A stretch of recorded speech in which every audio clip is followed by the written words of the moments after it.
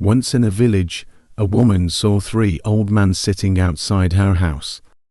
They were sitting there for quite a while.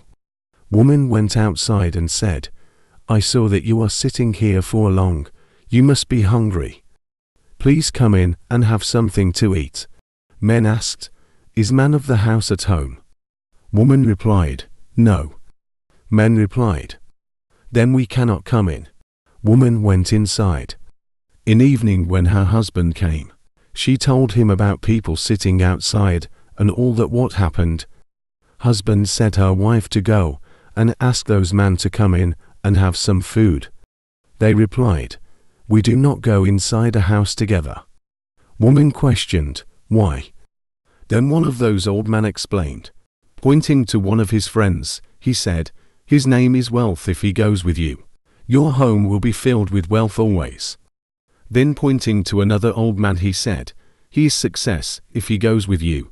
You will always be successful in any endeavor you start. He introduced himself as love if I go with you then your home will be filled with love always. Then he said, Now, you go in and discuss with your husband which one of us you want in your home.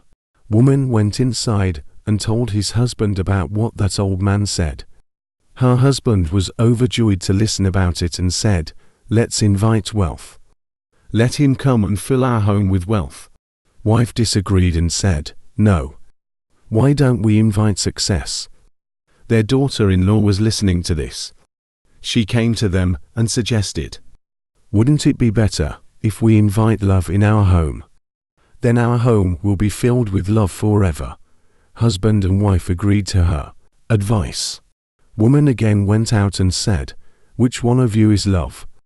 Please come in and be our guest. Love got up and started walking toward house.